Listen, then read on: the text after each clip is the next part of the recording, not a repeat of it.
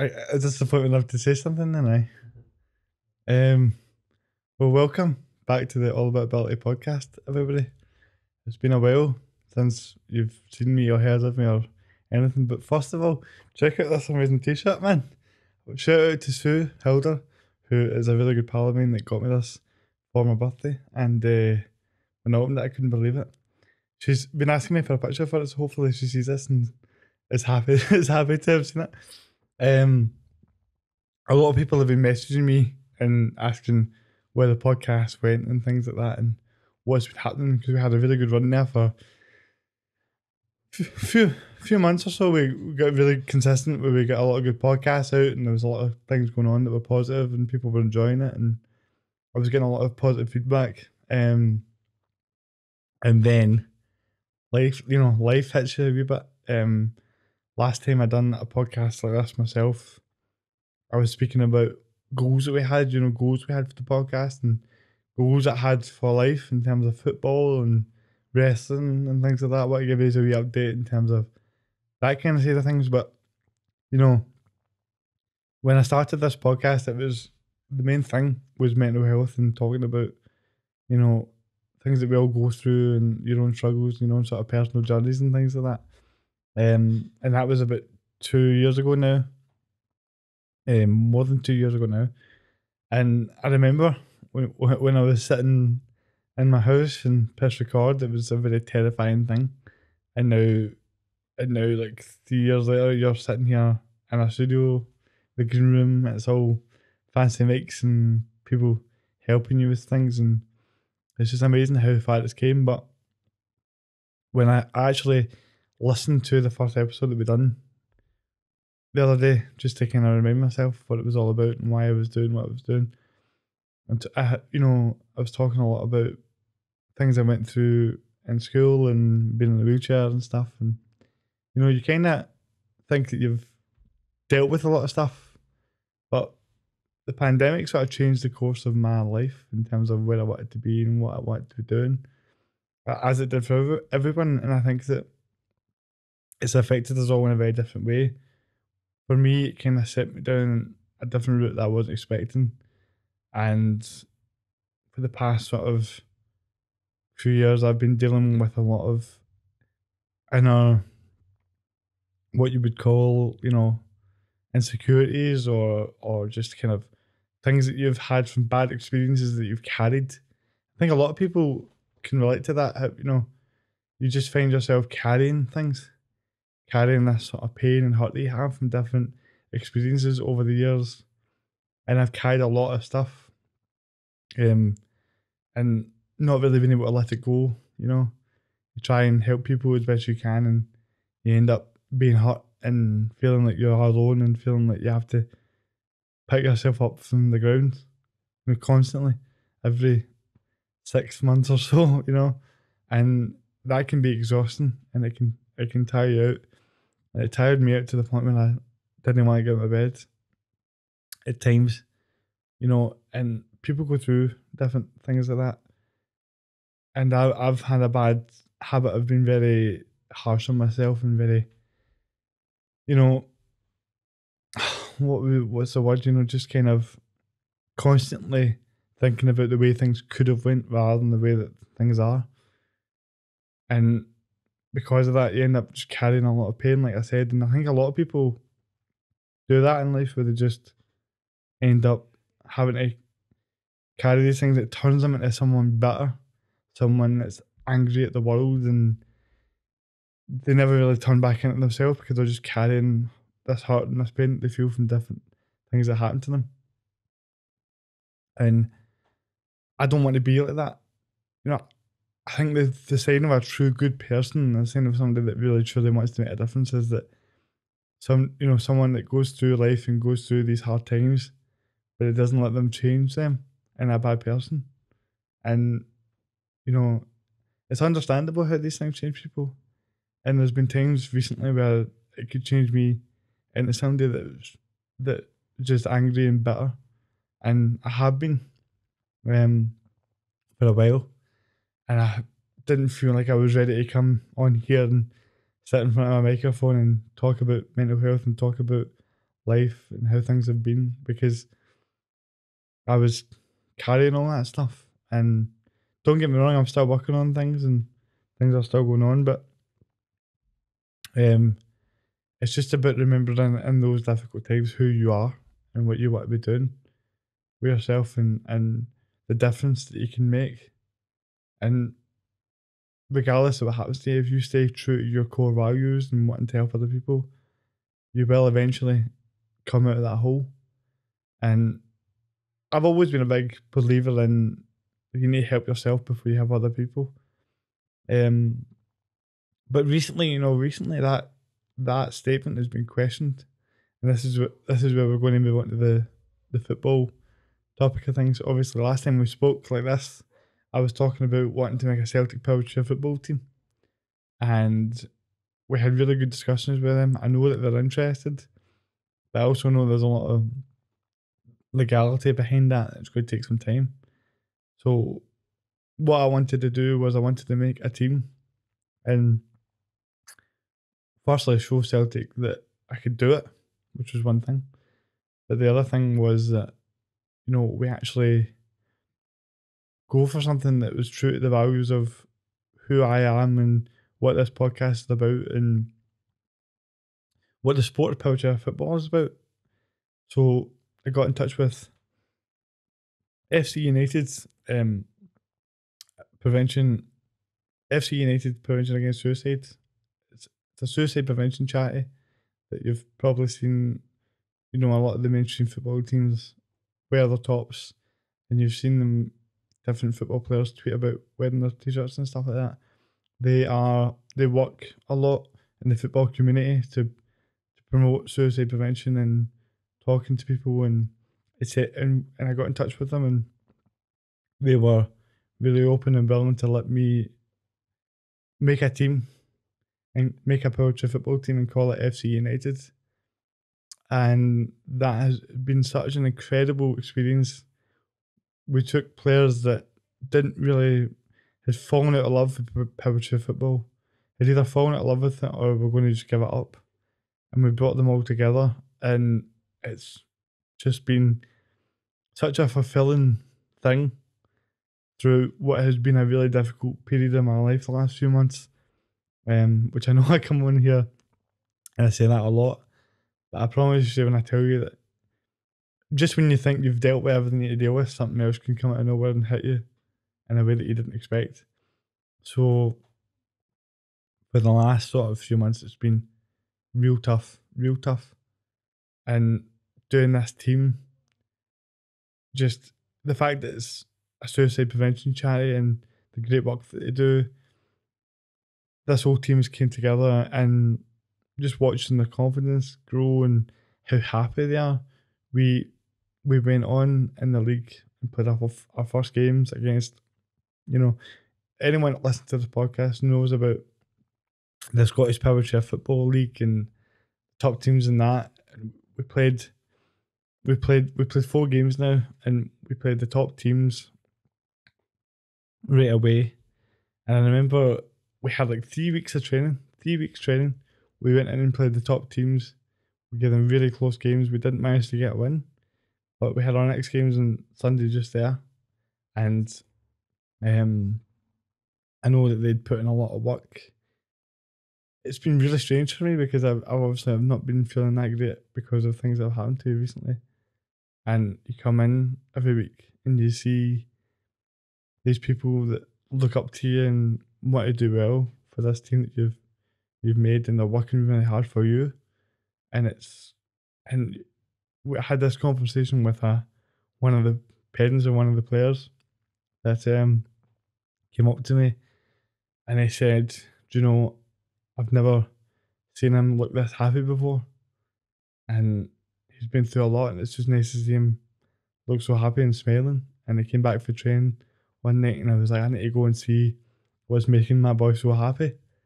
And that you know, he, he goes on to say about how when you're a dad and you see somebody doing, you see your son doing something that you thought they couldn't do because they're, they're, they're trying, they're trying and they want to do well for someone.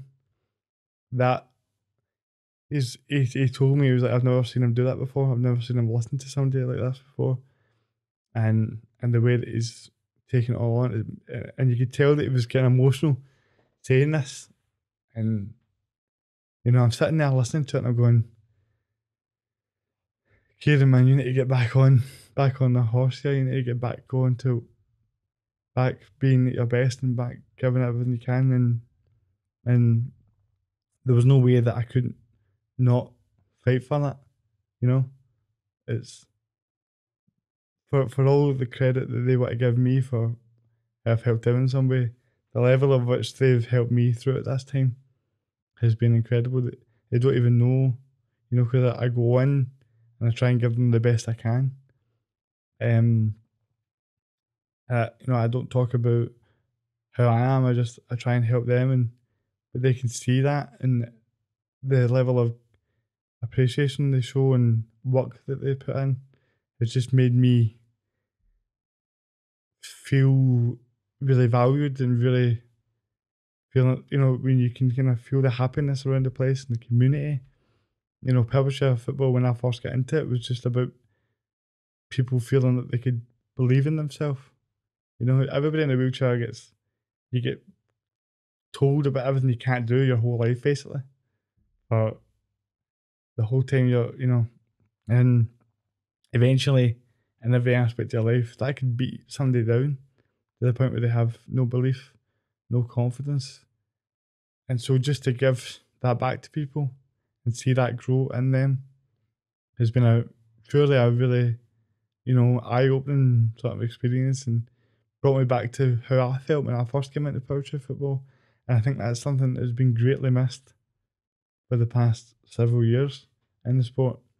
And bringing that feeling back has been one of the proudest things that I've done. And we went there on Sunday, played two really good teams.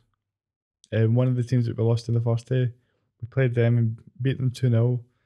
Two great goals from Connor Cohoon and a great play from everybody, just the way that we dominated the game, won the game, and then it was to come in and win a game like that, um, when you've not played or trained that much together against a top team and beat them, and then your second game we're playing against a team in Lothian Wolves that have won the League Cup and beaten the best teams in the country, and we um, really, really dug in, showed on our side of our game, and you know, one of the things that was so special about that game for me was we're one 0 down and they're all over us. So they were, they all over the you know for a period in, period in the game, and we really we stayed tight and we fought for each other.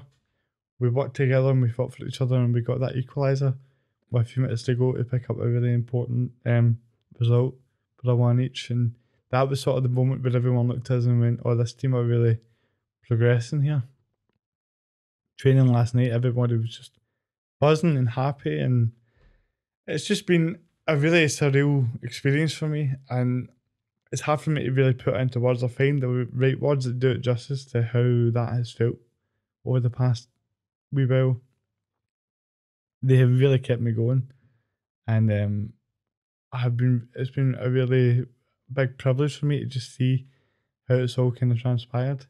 So I'm, I'm really excited about where that's going to go, and I think that the fact that it's FC United prevention against suicide, you know, for us, we've all been through a certain level of struggles in our lives, and we're representing something that's really close to all our hearts.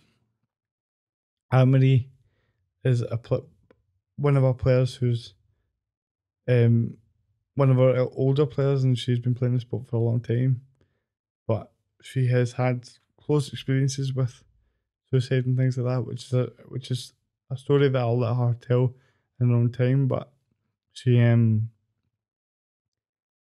she she came into this team and as somebody that seemed like she was just going to give up in the sport, and she scored that goal to equalise in our in our last game with a few minutes to go, and it was just very fitting that it was her because she's worked so hard and I know how much it means to her. So just wanted to mention that as well. Like, it's somebody that I'm very I'm very proud to see get that moment as as anyone in the team. But you know, I'm kind of talking a bit more somberly, I guess, because I've just been a while since I've done one of these, and um, I've been really wanting to get back in front of the camera, talking in the mic, and just getting things going again.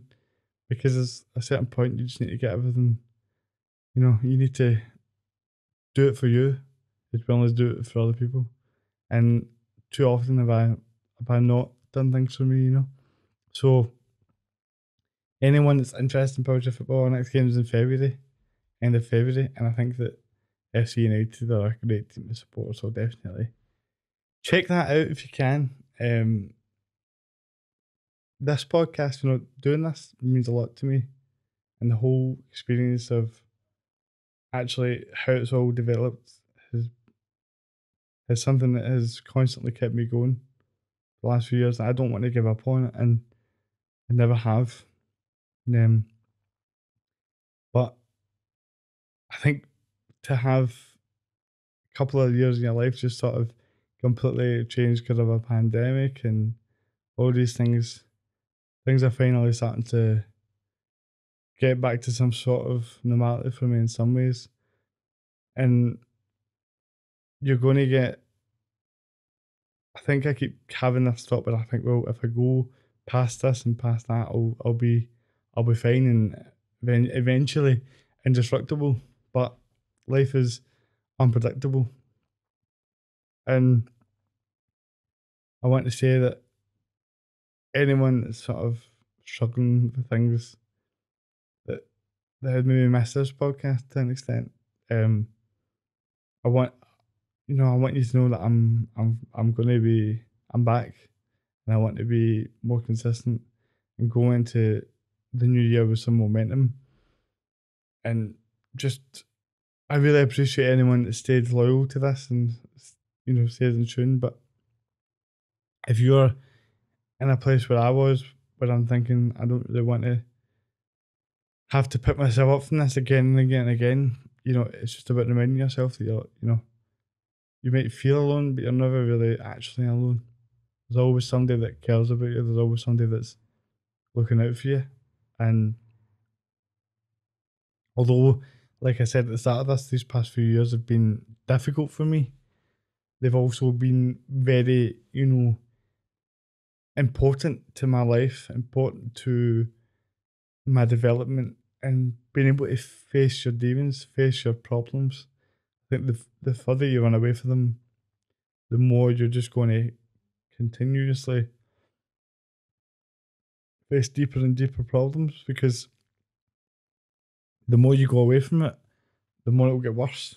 And that's something you learn over this this time is that you can't can't run away from it. Well, I certainly can't run away from it, but you can't run away from it figuratively, of course. And the more that you actually are honest with yourself and honest with your thoughts and put together why you feel how you feel, the truth of the matter is, it's probably because of things that have happened to you from so far so far long ago that if you actually sat and addressed them and were like, right, how do I feel about myself? What's the way that I want to feel about myself? I don't know everything, but I know that in your twenties, like everything can, can can kind of be up and down. It certainly has been for me. But what I'm trying to say is that if none of this had happened, if none of the pandemic had happened, or this podcast had happened, there's a lot of things that I wouldn't have known about me or or had really had time to think about. I would have just been stuck in the sort of circus that life can be, and you don't have time to think about these things. You just have to deal with them, and that's kind of been my biggest issue. Is I've had a lot of time to think about these things and try and deal with them, and in that process, I've I've not. There's been times where I've not been able to. People people manipulate you and put you down and you need to deal with it. You need to just deal with it. Um, but through this course of this pandemic and just how these last couple of years have been, I had a lot of time to sit and think about all these things, and I got myself into this way where I was thinking about them all in a negative sort of way. And I'm 26 now, and I go, that's that's been a lot of time to think, been a lot of time to process how I might feel about myself, but I think I've developed into a stronger, better person for that. And when every time that you come through something, you know, like I said in the podcast before, when I've done one of these, I said how, you know, anytime that you come through something, it makes that reward that bit more worth it. How I wanted to be a football player for Celtic, how I wanted to be a wrestler, how I wanted to do all these mad things that people thought I couldn't do. And how when I do all those things, people are going to look at that, look at me and go, that guy had to come through a lot of hardship to get where he wanted to be. And that's still the case. You want to do it right away, but different things are going to hit you and you're going to have to deal with them. And, and I have. And I'm still here. That's the key is that w- when you're sitting there and you're being harsh on yourself and you're thinking, why couldn't I just do it earlier? Why couldn't I just do it sooner? All that matters is that you're still here and you're doing it now because you feel that you've lost in some ways, but you're still here fighting, which means you, you're always winning. You're always winning when you're still fighting. And there's no it's always worth it. It's always worth it, even when it feels like it isn't. You eventually, eventually, you'll wake up one day and be like, "It's worth it," because you, because you can see how people, you can change people's lives in in a positive way. That's why I was saying one of the things I said during all this was talking about how I always felt like you have to make yourself happy first before you can make someone else happy, which is true, right? I get that. But what I'm saying is, in this time where I've felt not too great, helping other people feel positive and confident and motivated has showed me how much how much an impact I can have on people's lives. And and then you go, well, that's something to fight for, you know? And I want to make myself, you know, I've always talked about wanting the world to see the best of me at some. And I definitely feel like, you know, as much as a lot of things to do, everything that I've been through for the past few years has just made me able, give me a stronger base to build on and be stronger for. And this podcast to me is about showing everyone that we all go through different experiences, we all are affected by things differently, but we are all human and there isn't anything new that you're feeling that somebody hasn't felt before. And if we can all connect through that, connect through the struggle that life can be, and show each other that we're all similar in a lot of ways because of that, then really that's where differences and that's where this idea of being normal fades away because we realise that we all have that strength and, and unity, embracing our embracing our differences, we're recognising that our emotions can be very similar. And that was what I've always wanted to do. And anything that I've been focused and really put my head down, this podcast has done really well. And I know that it can become something that can really be a, a light for a lot of people with disabilities, with mental health problems, with all these different things. Just to just to know that they're not alone and know that we can talk about these things. That's what it's always been about. And that's what it will continue to be about. I'm going to have a bunch of good guests lined up. I just wanted to come on here because I know it's been a while and I know everybody's wondering on what's been going on. Um, but that's kind of what my life's been like for the last few months. Went to Geneva, Scotland. We did really well. We got to the final. Um, there was a lot of tough things that were involved in that, but we did, we did well, and uh, a lot of things were thrown at me that I wasn't expecting. But um, there was a couple of really big moments there for me and for the team, and everything was just. I ended the final on the pitch as a captain, and I remember thinking, you know, I want to be leading Scotland for the next, you know, long while ahead. And I'm only 26. There's no reason why I can't do that. I want to lead this sport into a new level of publicity and popularity because that's what it deserves. That's what these people in this game deserve. This sport is just the best sport in the world for what it can do for people in their life overall. So I just want to stress how much of an important thing it is to me that Powerchair football continues because I've always talked about saving my life as a young boy and it continues to do that all the time. Because it just continues to remind you how special life can be. Because it, you know, it really can be. And all that really matters in the world, the only thing that actually matters is how you make people feel and how you feel about yourself. Every other thing just kind of, you know, things are important. Money's important. You know, different things can have different values, but the most important thing is how you feel and how you make others feel, because that's all that anyone remembers. And just seeing that and realizing that has made me want to push on and pick myself up and, and really show everybody in 2023 how good I can be, how how how much we can help each other and support each other through difficult times. So that's my my head's fully in the game and I want to just try and get things going again and and, and make 2023 the most consistent one that I've ever had by just doing the things that I know that I do every day and doing it for me and for everyone else as well. So that's the goal. That's the target. And as we go on, I'm going to just get back more into my flow and we will still be Tuesday. Um, I'm going to say around five o'clock. uh, with five o'clock being the goal. Um, but please, you know, bear with me. I'm not saying to you that everything's magic, or I'm not saying to you that I'm going to be right on the ball with everything right away.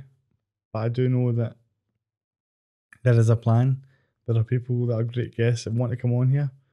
Um, and I'm fully committed to making this everything that can be, make myself everything that I can be. Um, I've got great support around me, you know, obviously I've probably mentioned Paul too much in this, but he knows how much he means to me and he knows the difference that he's made to my life in the podcast and stuff like that. Um, so I don't need to go too much. But, you know, having people like Dad and Connell that have came on a few times now and they all just want you to do well and I've got a great family. They want me to do well and people that actually listen to me talking this microphone. It's crazy you know, that's it's mental to me. Like, there's so many times in my life where just talking like this would be terrifying, you know. So, I wanted to do this to just get back in and just speak to you, you know, speak to you one on one and tell you truthfully what's been happening with me, and I'm going to be all right, you know. And that if you're struggling now, you're going to be all right, and I'm never going to disappear forever. Do you know what I mean? as long as I'm here, All About Ability will be here. And I'm just really excited to get things going again. With that said, I think that by the way, shout out to shout out to, to Wolfgang as well, actually. Because Wolfgang is Wolfgang has been helping me with wrestling training still throughout this time. And it's again that's also been another thing that's been really fun. Like I said, 2023 I have two goals, right? It's continue to progress with Powerchair football, and have a wrestling match. Those are the two. Those are the two goals in my life for 2023. And I'm saying that now because when I say out outlandish things like that, I feel like it makes me do it. Um, sometimes you just need to put your money where your mouth is. Um, and I will get, I'm hoping to get the the the new ICW World Heavyweight Champion, Leyton Buzzard, who was in here talking about he was going to win the belt he went and won the belt, so that was pretty cool. We'll get him back on. I recorded a great episode with a DJ called Frankie. I'm I was going to attempt to pronounce her second name, but I just it just it's a bit of a tongue twister for me, so I'm just going to go with Frankie. Frankie, we told the story about how we met the, on the podcast that we recorded. We recorded a podcast. What was it? A month or two ago, or something like that. And um, I wanted to post it sooner, but just the way that life has been that I didn't post it as soon as I wanted to. We had a great conversation. She's a she's a DJ and she's been a she's done a lot of kind of crazy things throughout the world and, and it was a really good podcast talking about her and her own journey and just a really fun outgoing person who's also a journalist and does a lot of work for the BBC.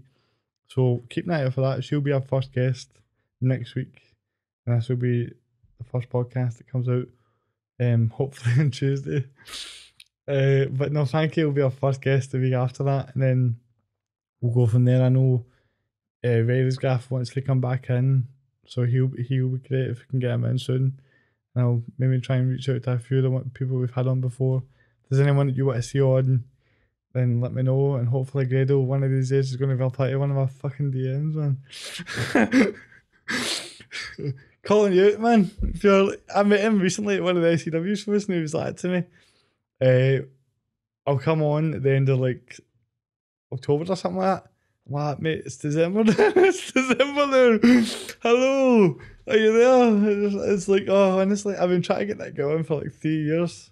So if somebody wants, to, if if you if if more than however many people listen to this, if, if there's anything you want to do to help me, it's get Grado messages and get them to help that with some of his podcasts, man, because it's a pure nightmare. And I'm and you know that he's bad for replying when I'm saying that because I'm like one of the worst people for that, you know what I mean? So um but at least now we move back in podcasts, we can say that it's it's, it's become naturally in Scotland scene anyway a lot more handsome. With all due respect to Dan Connell and Sean McDonald and all that, I think I think I think that helped raise the bar a wee bit. You know what I mean? I can say that because I'm in a wheelchair. Because it's like, what you going to do? Beat, beat up a in a wheelchair? You know what I mean? It's like one of those things that can get a bit more wide because it's like it's not as if they're going to come and hurt me. It's bad PR. You know. you know what I'm saying? See, I'm starting to get in the flow of it a bit now. I feel a bit more relaxed. I was just a bit, you know, I've opened up on this kind of thing a lot, a lot. You know, said a lot of deep things on all about ability and uh, personal things and got visibly emotional and cried and things like that. And it's like it's a bit it's a bit demotivating and just dejecting when you're just doing that and then you go through another bad time and you need to come back on and be like, sorry guys, did it again. Uh, and you just you get kind of tired of coming on and kind of spilling your spilling your guts out a bit.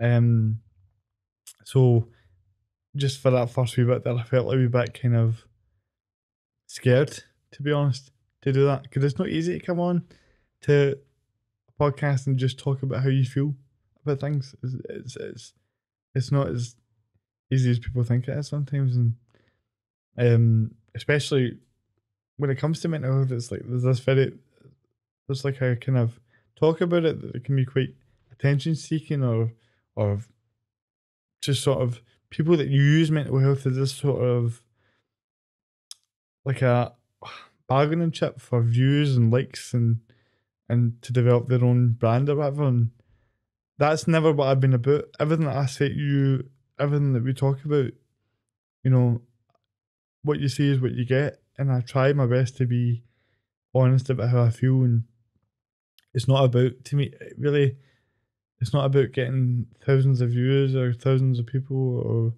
money or whatever. It's just about if hundred people listen to this and one person is helped by hearing me talk about things, then that to me makes all of this worth it.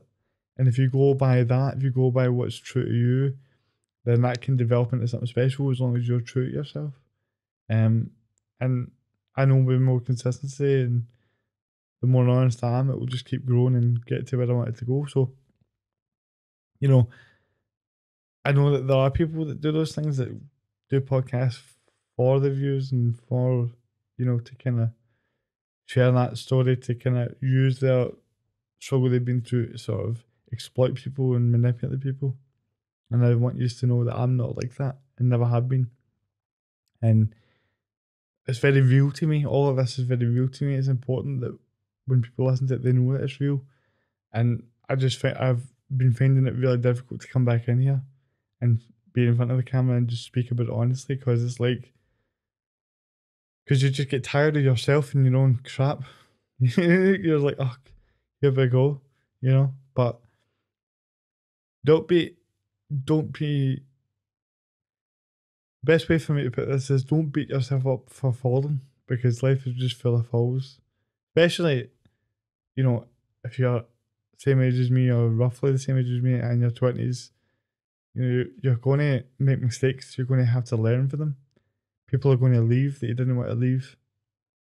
Um, and it's all about growing and understanding yourself, so that by the time you're thirty, you may have some of this stuff figured out. um. So yeah, I appreciate anyone that's taking the time to listen to me talk over these past few years, and I want you to know that it's only going to get better for you. But every time I fall, I'm just going to come up and keep getting back up and keep going for it better and better. So I'm really grateful for all your support, and just know that there's plenty more to come for me. Um, and anyone from the FC United team that listen to this, or anyone from that charity that listen to this, I just want everyone to know that Powerchair football is the best sport in the world, and I'm grateful to that charity for the support they've shown me and the players for the work they've put in, and just how much of a difference that we can make together. So I'll see you again every Tuesday, five ish o'clock, and hopefully we'll speak again soon. But thanks again for listening, and I'll and I'll see you soon.